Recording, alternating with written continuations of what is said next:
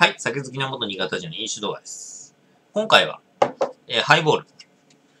えー、セブンアイ限定のサントリープライムハイボール。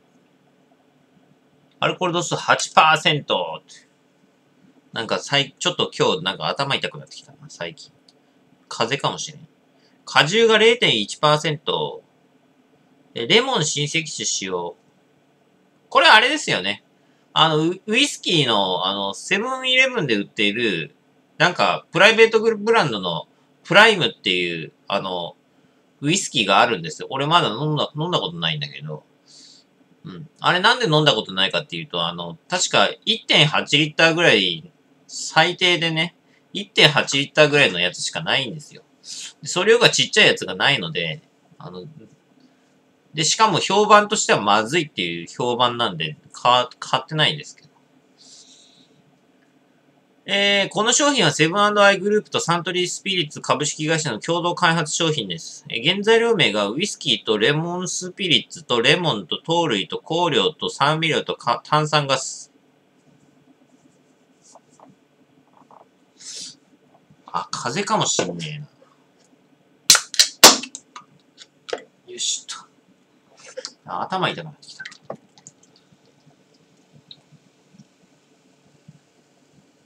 まあ、噂によるとこのプライムっていうのはまずいらしい。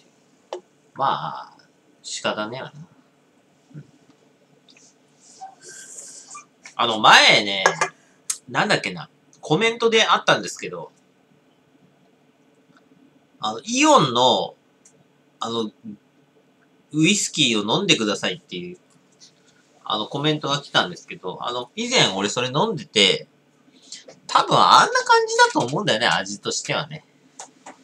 ああイオンのウイスキーあれがすっげえまずくて、確かすっげえまずかったんですよ。記憶。俺の記憶が正しければ、恐ろしいほどまずかった記憶がある。完璧。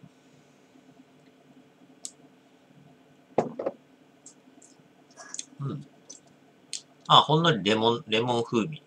レモンの味。あ、結構美味しいじゃん。美味しい美味しい。これ普通に美味しいですね。確かね、イオンのハイ、イオン、イオンのウイスキーが、トップバリューのウイスキーですね。恐ろしくまずくて、確か俺当時、その、飲んで、あのー、捨てようかなと思ったぐらいのレベルじゃなかったかな。どうだったか覚えてないですけどね。確かまずかったっていうのは確実に覚えてるんですよ。間違いなくまずかったっていうのを覚えてるんですよ。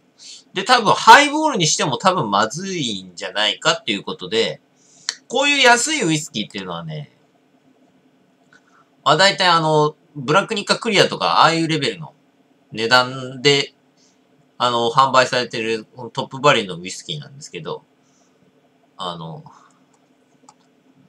当たり前ですけど、あの、に、ブラックニッカクリアは、あれは日課ウイスキーっていう、いわゆるウイスキーって名前がね、あの、株式会社の名前に、社名についてるぐらいだから、あの、当たり前なんですけど、その会社と、あの、比較すると、だって、ウイスキー作りを、ね、主軸にしてる会社と、まあ、トップバリューとかいう、あの、チョンジンの、あの、チョンジンがね、あのー、社長の、クソ韓国籍の、あのー、奴らが適当な、あのー、ね、トップバリューとかいうわけわかんない、あの、プライベートブランド作って、あ、じゃあウイスキーも作ろう、みたいな。片手間に、あ、こっち、ちょっといろいろ、いろいろ作るから、ちょっとあの、酒も作るから、えー、酒とか食品とか、あと、えー、なんかいろいろ作るでしょ？で、あ、その片手間に、あ、じゃあウイスキーも、あ、作っとこう、みたいな。まあ、そんなレベルだからね。まずいに決まってんだよ。まずいに決まってんの。しかも、当たり前だけど、こういうクソ安いウイスキーっていうのはそのままストレートに飲むように、まあ作られてるかどうか知らないけど、あの、まあ俺はストレートに飲まないんですよ。絶対にこういうのってのは。あの、もう確実に、あの、割って飲むんで、ハイボールにしてね。飲むんだけど、あの、ハイボールにしてもまずいウイスキーっていうのが存在するわけです。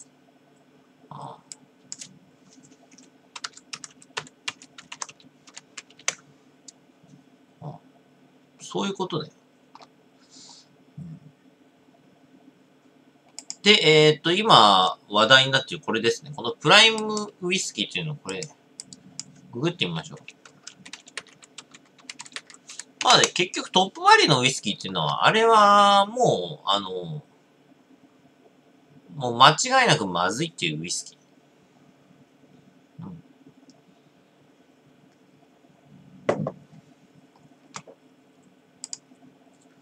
えー、っと、あ、伊東洋華堂にも売ってますね。こちら、プライム、サントリーウイスキー、え、プライムってやつ。えー、っとね、これ何リッター ?1.8 リッターですね。1.8リッターで1696円。だから、税込みで1831円って書いてあります。うん。まあね。そういうことです。まだこれはサントリーが作ってるから、まだ、サントリーのウイスキーっていうことだから、まだね、あの、多分うまいんでしょうけど、おそらく。うん。ただその1800円、だから、ワンカップ、ワンカップのさ、あの、ウイスキーとかでで出てれば、それ買うんだけど、俺は普通に。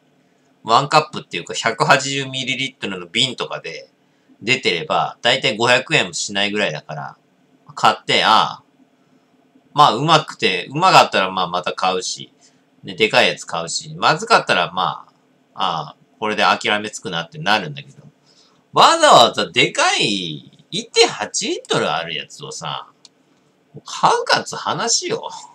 うん。ほんとむちゃくちゃだよな。ウイスキーなんてのはさ、まあ、なんでもそうかもしんねえけど、基本的に、うまいまずいっていうのが、だいぶはっきりしてるからね。うん。しかも、まあなうん。まあ、酒は何でもそうか。何でもそうかもしんねえけど。なんか、それに初期投資として1800円払うかっつう話、絶対払わねえだろ。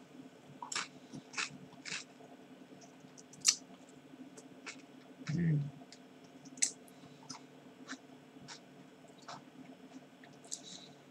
お前、ワインなんかと違ってさ、値段高いんだから。ワインなんてのは500円出せばお前、ね、300円ぐらいのやつとか売ってんだよ。ワイン。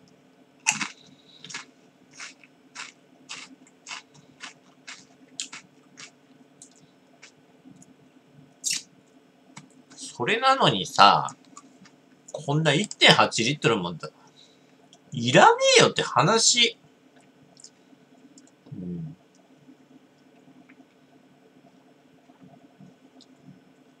まあ、しかも確実にこのサントリーのプライムって、だってセブンイレブンでしょ？これ誰か飲んでる人いますね。うん。この人のあれを見ましょう。この人は、俺まだ俺これ下言ってないから、あれだけど。いい今から見るこのブログの人？このブログの人。この人がうまいっつったら、あのー、じゃあ俺買いに行ってやるわ。今度買ってレビューしてやる。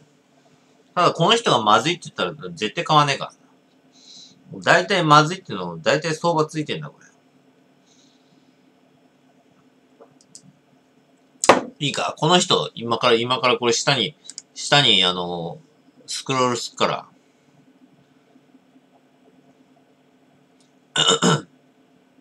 サントリーからセブンイレブン限定で発売のウイスキーサントリープライムです。アルコール度数37度。1.8リットルのプラスチックボトルで1800円強で販売されています。ウイスキーの外観はやや淡い琥珀色。味は少々ツンとくるアルコール感とカラメルを感じ、青リンゴ、バニラを感じます。余韻に、ヒノキのような香りが感じられます。飲みやすいウイスキーです。えーコンサントリープライム、価格の割にはきちっと作られたウイスキーです。ほう。ストレートでもロックでもハイボールでもいけます。パーティーとかで大人数で楽しむには最適なウイスキーです。しかし飲んだ翌日、若干の頭痛に見舞われたりと、学生時代に安ウイスキー飲んだ翌日の、えー二日酔い状態になりました。この価格でしょうがないかもしれませんが、もう少し奮発すれば、1000円スコッチが買えると考えると、えー購入少々ためらう、えー躊躇してしまうウイスキーでしたと思ってます。まあ、一応、悪くはないという感じなんですかね。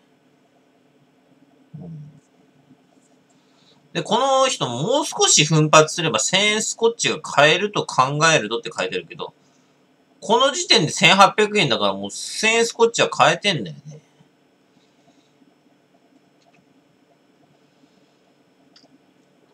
間違いで2000円スコッチとか間違えたのかな？まあでも1800円ですからね。まあ2000円のスコッチ買えるって考えれば、まあ1800円のスコッチって言ったら、何が挙げられたの？多分これ間違って、2000円のスコッチと間違ってると思うんだけど。2000円のスコッチは、まあ、あれか。ジョニー・ウォーカーのブラックラベルとか。ああジョニー・ウォーカーブラックラベル。スコッチだと、スコッチ、ね、俺が好きなスコッチって言ったら、あ、グレン・リベットとか、あ、買えねえか。グレン・リベットとかは買えねえかな。値段が結構、ウイスキーって変わるからな。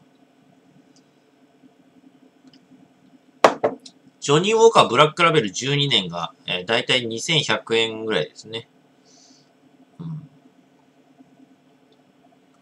グレン・リベットとか買えない？買えないか。グレン・リベットとか、さすがに買えないか。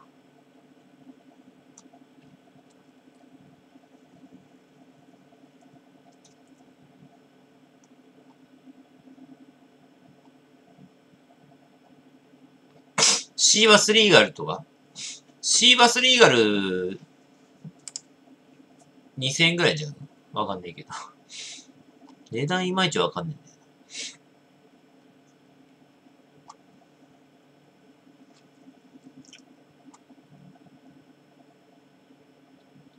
ホワイトホース12年は恐ろしくまずいので、やめた方がいい。グレン・リベットが、えー、あれ？乗ってねえな。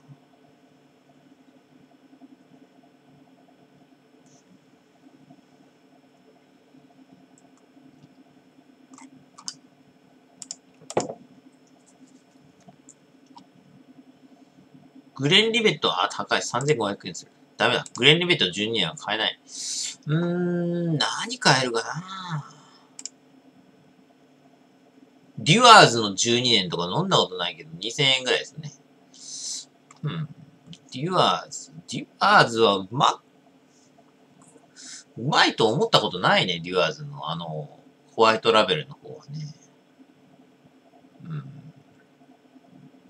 もう大体あの、最初のむ、あの、ノンエイジで俺は味測るんで、あ、シーバスリーガルの水なら12年ハーフ、あ、これハーフかよ。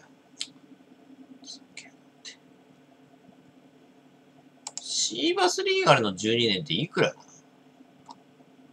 大体。シーバスリーガルの12年っていくら？ちょっと待って。あ、2288円。まあ、2300円ぐらい。まあ、まあ2000円ちょいのウイスキーですけど、まあシーバスリーガルは普通にうまかった覚えはあるけど、あーでも2000円ぐらいのウイスキーだと、うん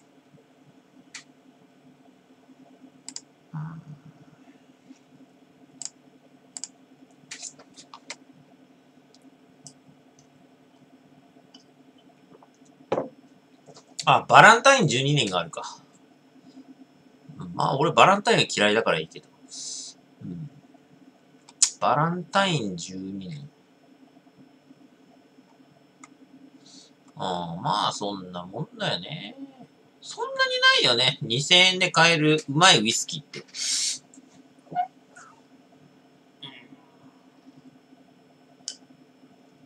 3500円ぐらいあれば、あの、ボーモアが買えるからそれになるんだけど、結果としてその間の中間がないんだよね。うん。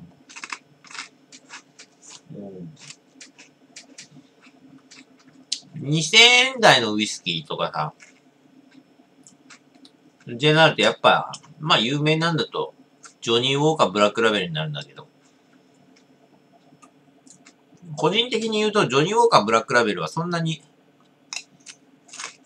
うまいと思わなかったね。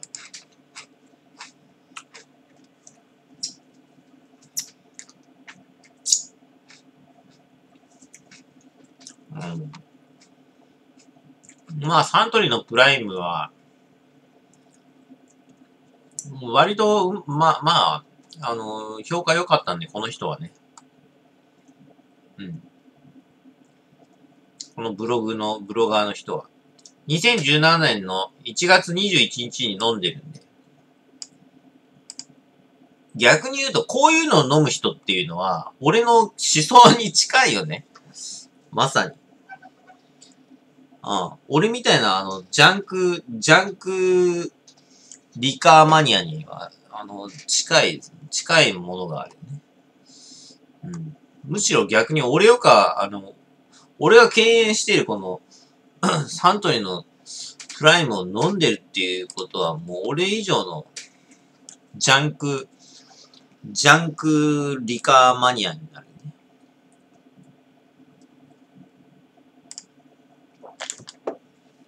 ああ、それではですね、僕の動画で先ほど俺が、あの、ズタボロに言ってました、あの、伝説のクソウイスキーの、えー、あれですね。えー、っとね、なんつったっけ？あ、あのー、トップバリューね。トップバリューのウイスキーを、あれ？ちょっと待って。トップバリューのウイスキーを、この、俺がね、飲んだあれをちょっと見てみましょう。トップバリューでググれば出てくるな、これ。え？トップバリューで出てこない。となれば、腰つべに上げてるやつじゃなくて、あれ、あれか。ニコニコに上げてる方かな。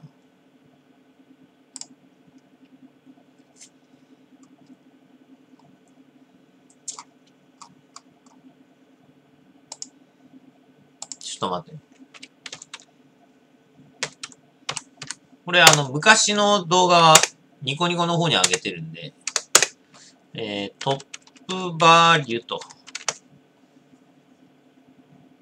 あ、ありましたね。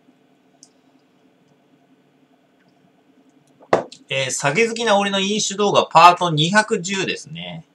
2012年5月17日ニコニコ動画の方に上げてます。こちらを再生していきましょう。お？味の総合評価最高5つ星の中で3つ星になってますね。あーあ。俺がなんかボロクソ言ってたのがなんか、あれじゃねえか。ウイスキーですね。はい。は、えートップバリューの、俺なんでこんな声なんだこれ？えーっと、イオンでね、買ってきました。えーっと、値段が、えーっと、600円ですね。俺なんだこれ俺この声。なんかやけに、すんげえおとなしい、あの、童貞ボーイじゃないか。この頃多分童貞だった。この頃童貞だったんちゃうか。違うか。さすがに違うか。えー、これアルコール度数が37%で、なえー容量が 720ml です。えー口当たりがよく飲みやすいウイスキーですと書いてあります。しかもさ、これさ、ロックで飲もうとしてる。ああ。しかも冷凍庫でさ、キンキンに冷やしてんだぜ、これ。この今見てんだけど、今見てる動画ね。がね、えーっとね、冷凍庫でキンキンに冷やしたウイスキーをロックで飲もうとしてるんですけど、あの、やっぱね、ウイスキーってね、あの、ロックとか冷やすとね、あの、ダメなんだ。うん。あの、舌が鈍るっていうか、その、本来の味が、わかんなくなるんだよね。で、それでさ、三つ星だから、それ怪しいですね。実に。えー、いつも通り、冷凍庫に入れといて、え多分、この頃ー、は。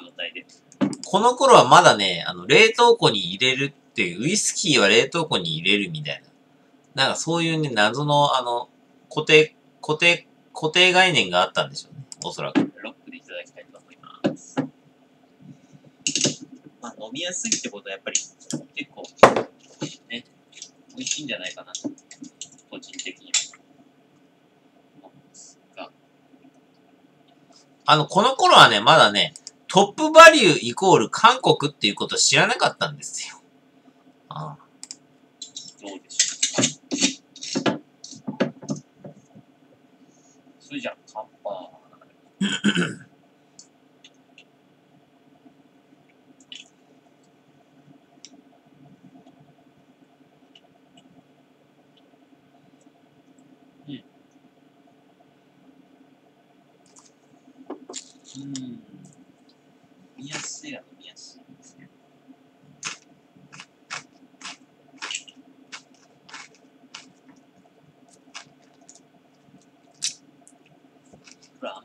ないですね。これあれだな。わかった。今度トップバリューのウイスキー買ってこよう。どっかで。どっかで見かけたら買ってこよう。買って飲むわ。うん。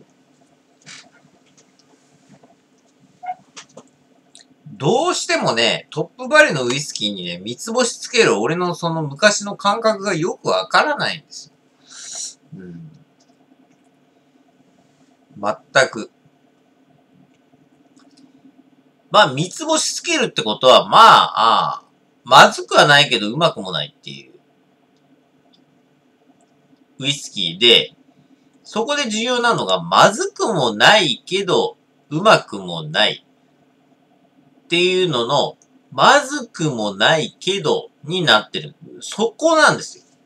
まずくないって思ってる時点で、ちょっと怪しいんですよね。あれ？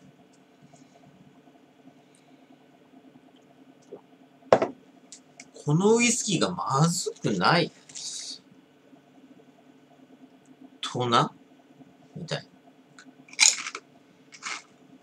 うんまあ、今度ちょっと買ってきて、実際に今の現状のどんな味かっていうのを知りたくなりましたね。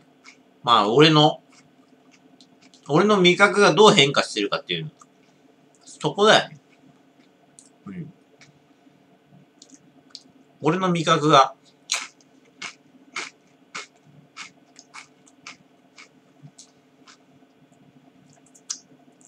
約5年前の俺です。2012年って言ってるだから。5年前の俺です。うん。5年前の俺なんで、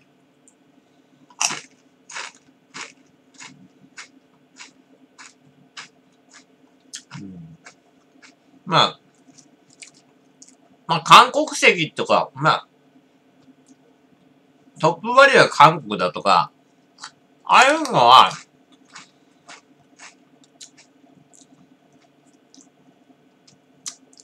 それなしにして、本当の意味で、ウイスキーの味としてどうなのかっていうのを、今度ちょっと買って、確かめたいと思います。うん。これはね、あの、ジャンクリカーマニアのユッキーとしては、マジで、知るべし部分。で、あとこの、サントリーのプライム。のウイスキーに関してもちょっと今度購入してきますんで。まあ、ただ1800円か。1800円か。結構痛手だな。しかも、あのー見えますか？ボクチンのこの横に大量の酒瓶がこれ全部、あの、空瓶じゃないんですよ。全部残ってるんですよ。で、それにね、プラスされるっていうのがね、すげえね。しかもね、上？この上にね、あの、あの、なんだ？ロフトがあるんですけど、そこの上の段ボールの中にも、あの、腐るほど実は、あの、新潟の方から持ってきたウイスキーの瓶が大量に、酒瓶が大量に入ってます。で、全部入ってます。中身が。その状況でね、またしてもね、酒を積むかと。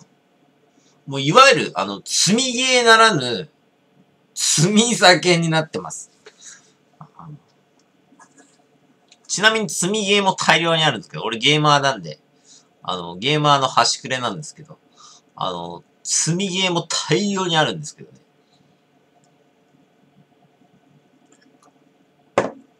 一体いつになったら消費できるのかと。まず勘弁してくれるわ。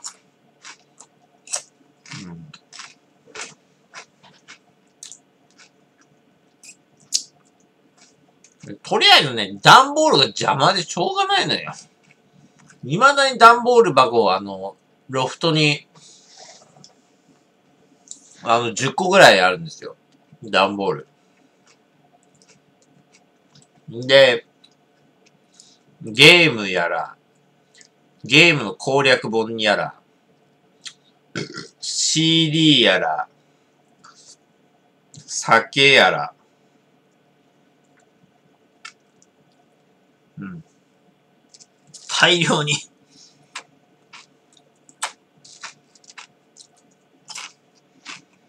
あー、マジで。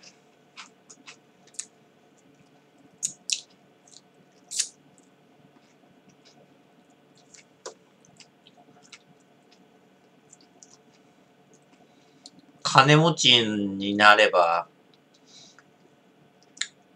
ワンルームと、ワンルームなんか言わないで 4LDK とかで住めるから、そんなに、あの、圧迫されないのにな。いいよな。金持ちって。マジで今、足の踏み間もないぐらいの。後ろを振り返ると大変なことになってるんだよな。マジで。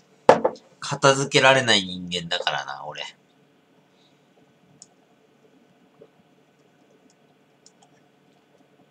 まあ話を戻しますと、こちらのプライムハイボールは、あ割と美味しい。で、アルコール度数8%って言うとめちゃくちゃ高いんだけど、そこまで高く感じないですね。個人的には。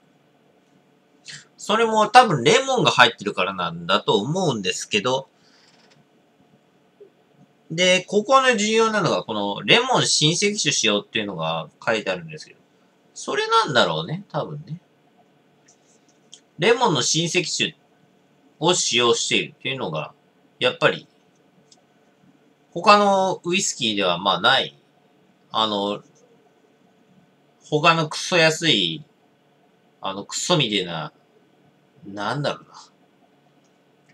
例えば、サンガリアとか、サンサンサンガリアとか、まあ、サンガリアはあれは作ってねえか。あれは酒作ってねえのか。わかんないけど。まあ、ああいう、もう、五流メーカーぐらいのやつが、あのー、作る酒とは全く違うってことですね。うん。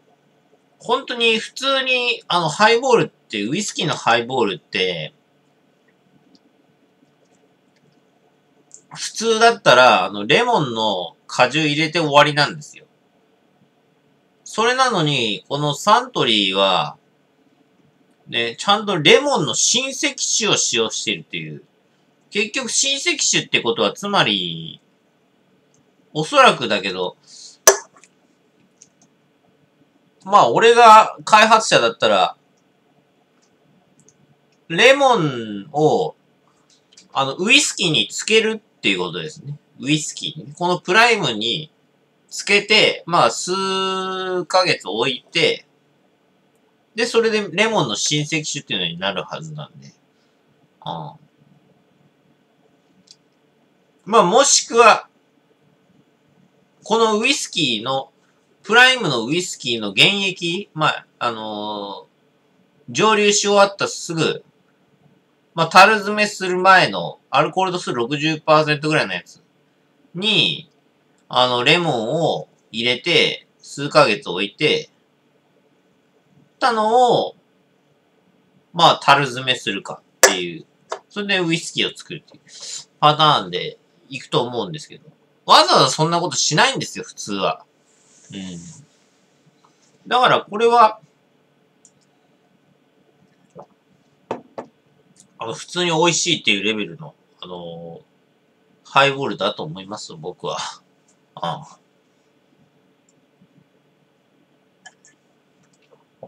うん。これは多分普通に美味しいですよ。ちゃんとレモンの味もするし、レモンの香りもするし。で、それでいてアルコール度数8%っていう高いんで、あのーうまい。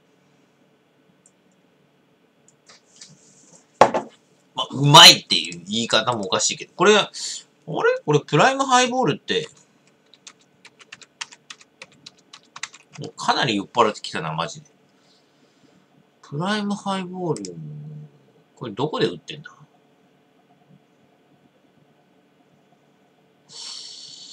やっぱ伊東洋華堂とかそういう系なんですかね。伊東洋華堂とかなのかちょっとわかんないですね。怪しいっす。多分、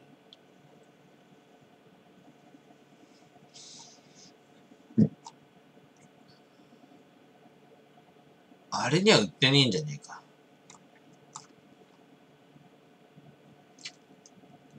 これコンビニで売ってたらまだ、あの、あれなんですけど。いいなっていう人結構いると思う。あ、コンビニで売ってた気すっけどなどこで売ってたんだっけなこれコンビニに売ってたら結構売れるんじゃない？わかんないけど。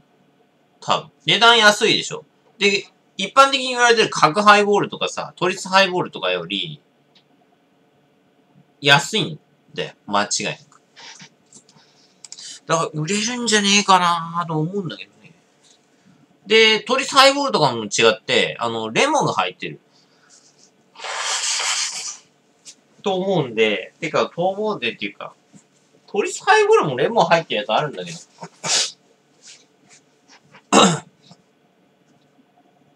うん。まあ少なくとも間違いなく安い。っていうのもあるはず。なので、これは売れると思うけどな。うん。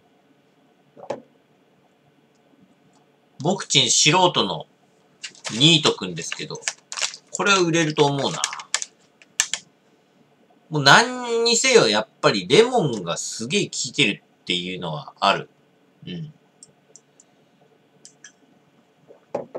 レモンが効いてる。レモンが効いてる。うん。とにかく。他のハイボールと違って、明らかにレモンの香り、味、総量がすべて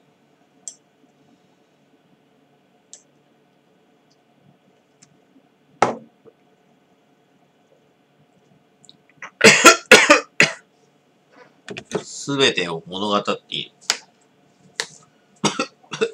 あ、頭が痛い。あ、まだ。あ、頭が痛い。